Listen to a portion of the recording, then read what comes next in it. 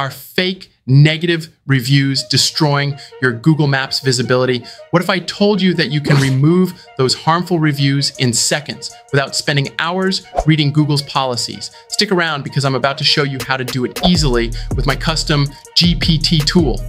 Let's face it, bad reviews happen to every business, but here's the catch. Many negative reviews are fake or written out of pure emotion.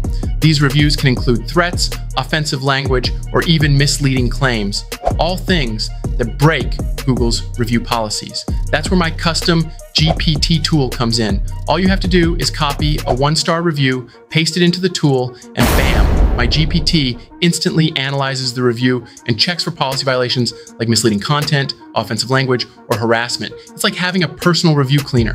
Why this matters. Google reviews are crucial for your business. They directly impact your rankings on Google Maps. And let's be real, negative reviews can kill your business visibility. One bad review could put you behind your competitors, even if your service is top notch.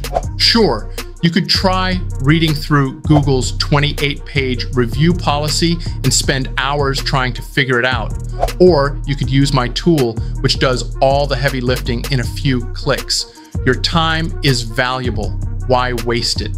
How to report reviews. When the tool identifies a policy violation, it gives you direct links to report the review to Google. It even suggests exactly which categories to select, like offensive content, misleading information, or personal attacks. Super simple.